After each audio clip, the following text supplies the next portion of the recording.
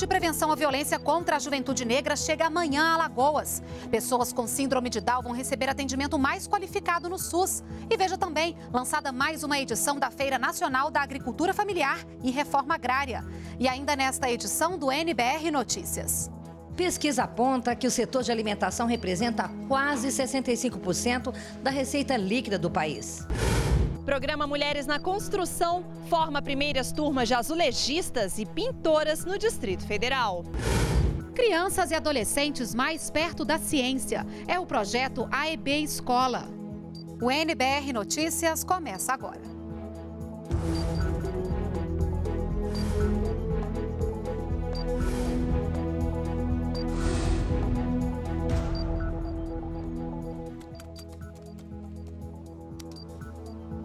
Olá, boa noite.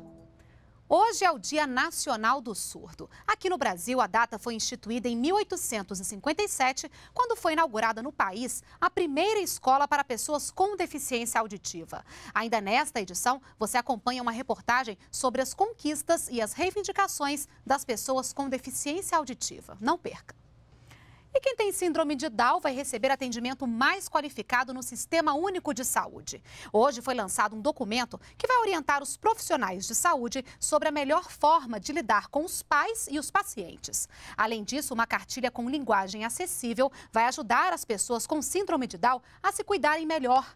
Todos os detalhes estão no site do Ministério da Saúde. Amanhã, em Alagoas, será lançada a primeira etapa do Plano de Prevenção à Violência contra a Juventude Negra. O projeto é uma resposta aos, alto, aos altos índices de violência que atingem os jovens negros do Brasil. Hoje, no programa Bom Dia Ministro, Gilberto Carvalho, da Secretaria-Geral da Presidência, e Luísa Bairros, da Secretaria de Promoção da Igualdade Racial, explicaram que Alagoas será o primeiro estado a receber o plano por causa do grande número de homicídios realizada essa experiência em, em, no estado de Alagoas, dentro de alguns meses, a gente vai sistematizar essa experiência e apresentar, então, sim, um projeto à presidenta Dilma que contemple inicialmente os grandes centros espalhados em todo o país, onde os números apontam o índice de violência, sobretudo contra a juventude, maiores e a partir daí, então, a gente estabelecer um programa nacional. Exatamente no sentido de dar uma legitimidade política para essa intervenção e fazer com que a juventude também incorpore esse programa como sendo dela, na medida em que a, a sua presença é no controle, no acompanhamento da execução, ela é responsável por uma grande parte do sucesso que o programa possa ter. Termina na sexta-feira, dia 28, o prazo para a entrega do Imposto Territorial Rural. Para preencher a declaração, basta baixar o programa gerador da declaração na internet, que deverá ser enviado por meio do aplicativo ReceitaNet. O programa ITR 2012 está na internet no site da Receita. São obrigados a declarar o proprietário de qualquer título de imóvel rural. A multa para quem perder o prazo é de 1% ao mês ou sobre o total do, do imposto devido. E de 21 a 25 de novembro acontece no Rio de Janeiro mais uma edição da Feira Nacional de Agricultura Familiar e Reforma Agrária. Quem tem as informações ao vivo é o repórter Ricardo Carandina, que está no Ministério do Desenvolvimento Agrário. Carandina, boa noite. Quantas pessoas devem participar dessa feira? Olá, Renata, boa noite, boa noite a todos. Renata, este ano participam da Feira da Agricultura Familiar cerca de 600 650 empreendimentos da agricultura familiar que são formados por pequenos produtores rurais, assentados da reforma agrária, pescadores, artesanais, ribeirinhos, comunidades tradicionais e também quilombolas. A gente vai conversar agora com o secretário de Agricultura Familiar do Ministério do Desenvolvimento Agrário, Walter Bianchini, sobre este assunto. Bem, secretário, quais são as novidades da feira para este ano? Boa noite. A feira preserva as atrações, a sua oitava edição. Teremos aí nesses 650 empreendimentos toda a diversidade da agroindústria familiar, dos diferentes biomas desse imenso Brasil. Teremos espaços do artesanato, da moda e também atrações como é, a valorização do que é o queijo colonial, o queijo da Serra da Canastra, de outras regiões, as delícias do slow food, de toda a diversidade dos pratos artesanais e amostras que vão é, de pratos típicos e produtos típicos da biodiversidade da Amazônia até os nossos produtos tipicamente coloniais lá da região sul. É uma grande atração, uma grande mostra, vale a pena. Aguardamos nessa feira mais de 150 mil visitantes, um movimento para esses empreendedores de mais de 20 milhões. É um, uma grande atração turística e fica aqui o nosso convite para a população do Rio de Janeiro, de, que aqueles turistas também que estejam lá, que no 21 a 25 de novembro visitem essa feira que é uma das nossas maravilhas aí da agricultura familiar e da reforma agrária. Qual a importância desse estímulo que se dá ao pequeno produtor rural, ao agricultor familiar, secretário? O Brasil tem eh, no meio rural, na agricultura familiar, a sua grande força. São mais de 4 milhões de estabelecimentos rurais, 90% do universo de estabelecimentos, mais de 80% da mão de obra e a grande maioria dos produtos que chegam à mesa do brasileiro. E agora ali nós vamos ver uma outra fase dessa, de, dessa agricultura familiar, que são as transformações, a agregação de valor, o artesanato, os produtos já transformados. É a nossa homenagem a esses agricultores a quem o Brasil deve tanto. Bem, então, muito obrigado ao secretário. E também está, está aqui com a gente um dos produtores rurais que vai expor produtos na feira, na oitava edição da Feira Nacional de Agricultura Familiar. E essa produtora é a dona Diva Vani Deitos, que produz alimentos orgânicos no município de Ceará, em Santa Catarina. Bem, dona Diva, qual é a expectativa dos produtores com relação a essa oitava feira? Boa noite. Boa noite. A expectativa nossa nessa feira é levar o produto, vender, divulgar e também fazer bons negócios nessa feira. A senhora já participou de outras edições da feira, né? A feira é um bom, é um bom lugar para o pequeno agricultor fazer negócios? A feira é um espaço onde o governo federal está dando de graça quase para a gente, para a gente divulgar. E esse espaço é também uma, é um espaço de visualização do produto nosso, da agricultura familiar. tem os produtos da reforma agrária e outros produtos a mais. E quando vocês voltam dessa feira e contam para os outros produtores sobre os resultados, eles se animam a participar da edição seguinte? A maioria das, das vezes, quando a gente está indo para a feira, já sabe que está acontecendo outra e já vai se organizando para participar da outra. Ok, tá bem, então aqui agradeço também a participação de Dona Diva Vani Deitos, lá do município, de, do município de Ceará, em Santa Catarina. E lembrando que, além dessas atividades, a feira também, o Ministério do Desenvolvimento Agrário também vai promover na Feira Nacional da Agricultura Familiar painéis, seminários e palestras sobre políticas públicas e ações que são feitas pelo governo para fortalecer a agricultura familiar. Renata. Obrigada pelas informações, Carandina. O setor de serviços no país voltou a crescer em 2010 e registrou alta de 11%. Os serviços de alimentação geraram uma receita de mais de 55 bilhões de reais no período. Os números foram divulgados hoje pelo IBGE. Há quatro meses, o cearense Gessicleide pediu demissão de um restaurante em Brasília para trabalhar por conta própria. Resolveu enfrentar o fogão e produzir quentinhas. Começou vendendo 20 refeições por dia teve sucesso.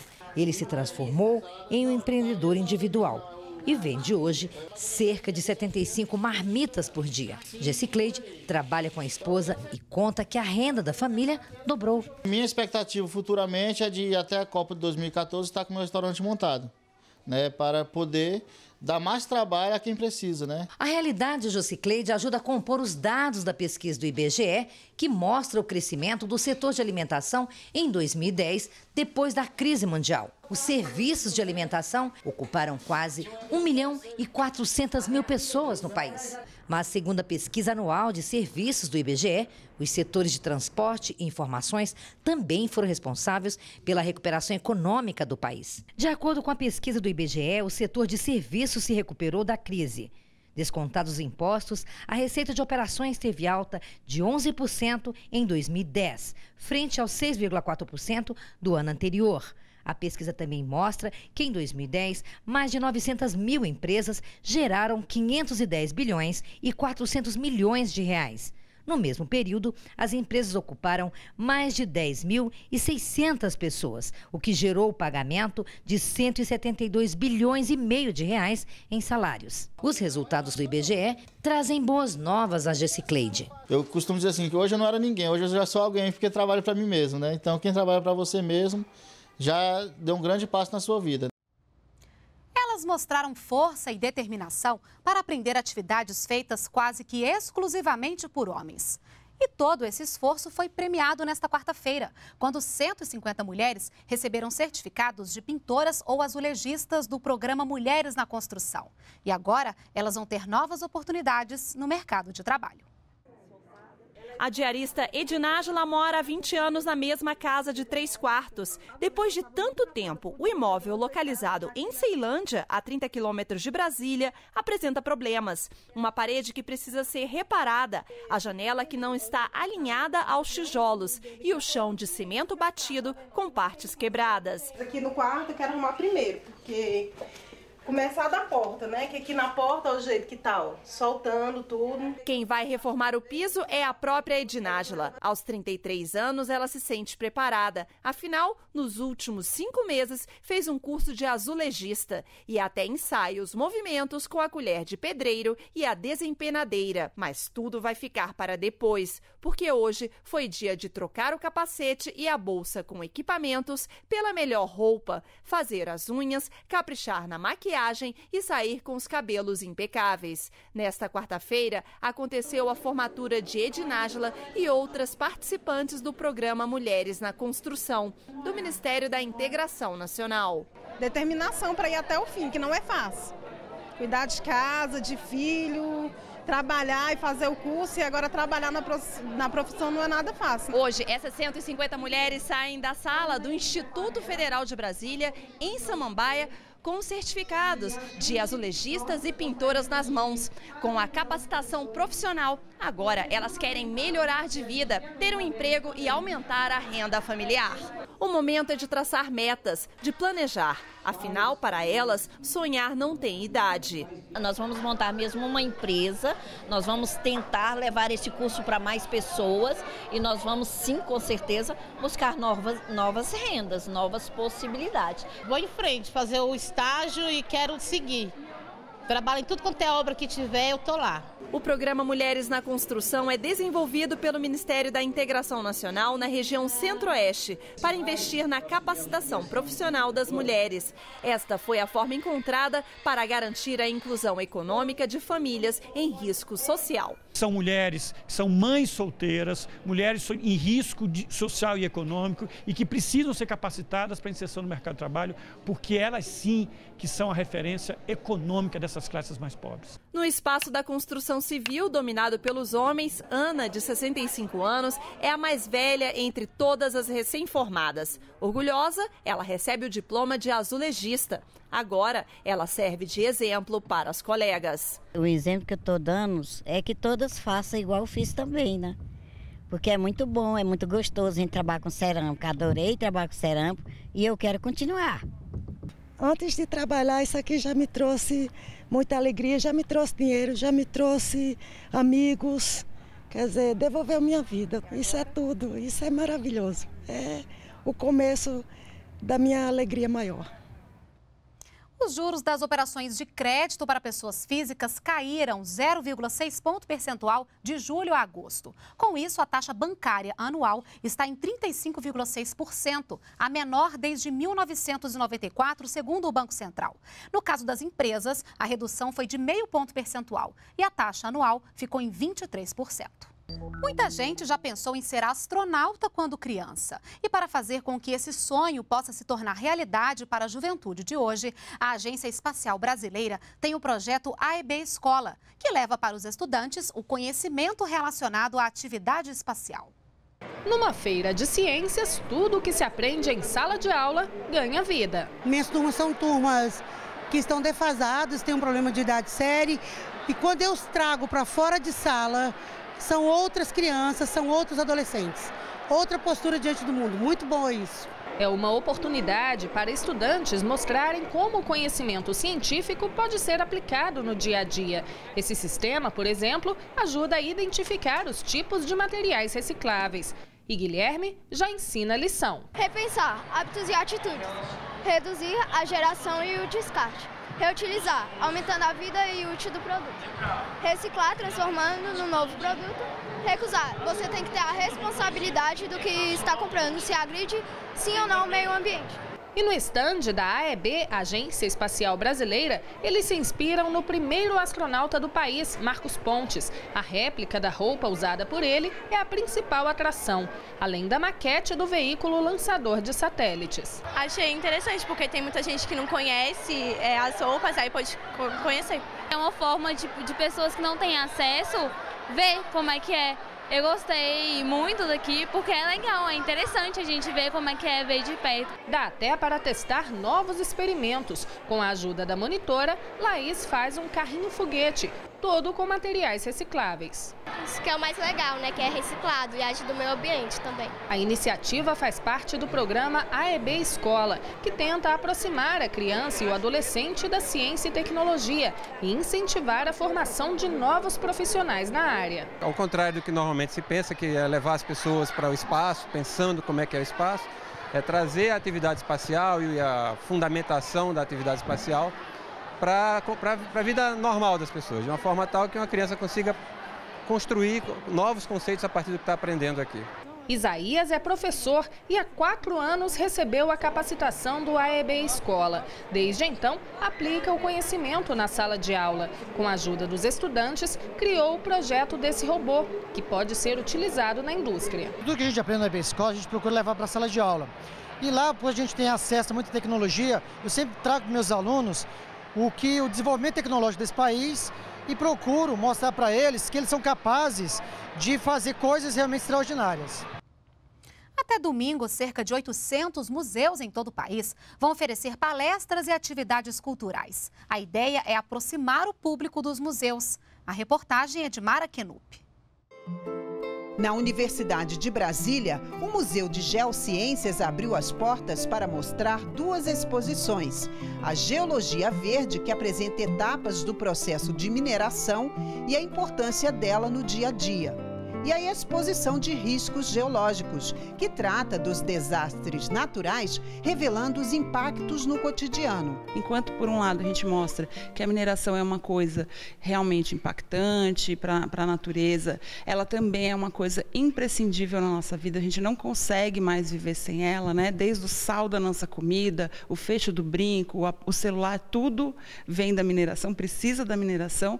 Por outro lado, as empresas começaram a olhar para esses impactos e tem tentado recuperar essas áreas, seja para fins turísticos, seja para reflorestar. Do outro lado da cidade, no zoológico, a atração é a exposição ao ar livre de animais empalhados. Uma técnica que remonta à forma dos bichos. A criançada que adora uma aventura se assustou. Eu pensava que eles são era de verdade. Levou um susto. Uhum. Tailan, muito curioso, ajudou o monitor a contar histórias e revela o que descobriu sobre os tucanos. O tucano, ele, ele, podia voar. Eu disse quando o predador for pegar ele, ele voava. Ver o lobo-guará, o macaco prego e o tamanduá bem de pertinho fez a alegria de Marcos Vinícius, que está aqui pela primeira vez. Eu não sabia que o tamanduá não cabe, eu comia formiga. Aí eu aprendi aqui. As atividades fazem parte da Sexta Primavera dos Museus, que teve início nesta semana e vai até o próximo domingo em todo o país.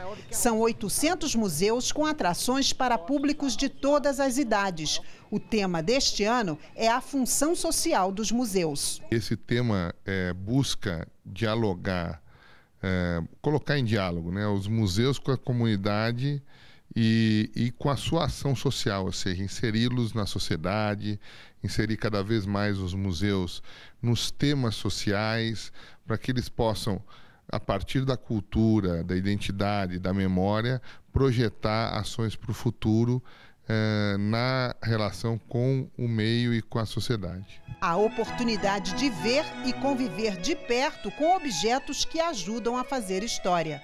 Assim é um museu, a serviço da sociedade. Aquela coisa de guardar o passado é essa coisa de preservar para o futuro.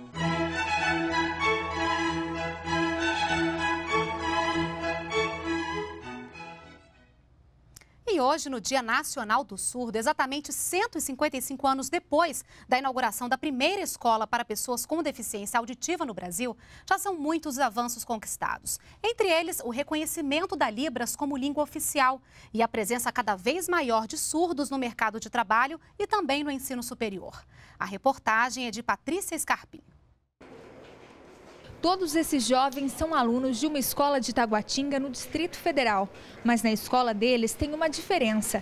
Na sala de aula, alunos surdos e ouvintes dividem o mesmo espaço para aprender as disciplinas do currículo. A única matéria que eles têm numa turma separada é a língua portuguesa, matéria que Maíla adora. Separado é bom porque a gente aprende as palavras, como consultar no dicionário, sinais novos, eu acho que é melhor. No dia 26 de setembro é comemorado o Dia Nacional do Surdo. A data é uma homenagem à inauguração da primeira escola para surdos do Brasil, que ocorreu nesta mesma data e no ano de 1857, no Rio de Janeiro. Com o passar dos anos, os surdos tiveram várias conquistas, como, por exemplo, o reconhecimento da Lei de Libras e a implantação da tradução simultânea do intérprete em alguns programas de TV e eventos. Apesar dos avanços, os surdos ainda têm muitas reivindicações, entre elas a construção de escolas bilíngues que ensinem a Libras e o português. E é justamente este o pedido de Tiago, que tem um filho de 5 anos que estuda numa escola pública com outros alunos ouvintes. No contraturno, meu filho até faz o atendimento especializado no CAIS, que é o Centro de Apoio ao Surdo, só que num, num horário muito reduzido. Então ele cresce sem ter amigos, sem ter pares para desenvolver a cultura surda, se comunicar, aprender a Libras, que é o melhor ambiente para se aprender a língua, é o convívio com outras pessoas. Segundo a Organização Mundial da Saúde, a OMS, mais de 15 milhões de brasileiros têm problemas de audição, mas apenas 40% reconhecem a doença. Em escolas para surdos ou em classes especiais da educação básica, existem cerca de 11 mil estudantes surdos e 5.700 com deficiência auditiva. Em classes comuns, também na educação básica, existem 25 mil estudantes surdos e 31 mil com deficiência auditiva. Já cursando o ensino superior, são 2.167 surdos e 2.541 pessoas com deficiência auditiva.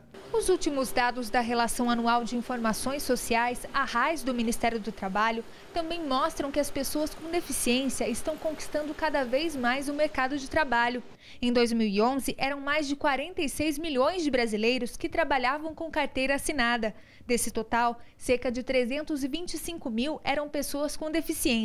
22% tinham problemas auditivos. E para lembrar a data, a Secretaria dos Direitos Humanos da Presidência da República realizou uma cerimônia para homenagear os surdos e seus familiares. A ministra Maria do Rosário acredita que a data é o momento de renovar o compromisso de direitos humanos com a comunidade surda. Nós vamos estar em contato com a saúde, Ministério da Saúde, com o Ministério da Educação, com as políticas também referentes às mulheres, à Secretaria de Mulheres e todas as políticas de forma a integrarmos uma ação conjunta voltada à cidadania e direitos da comunidade sul. Esta edição do NBR Notícias fica por aqui. Outras informações a qualquer momento em nossa programação. Uma boa noite para você e continue com a gente na NBR, a TV do Governo Federal.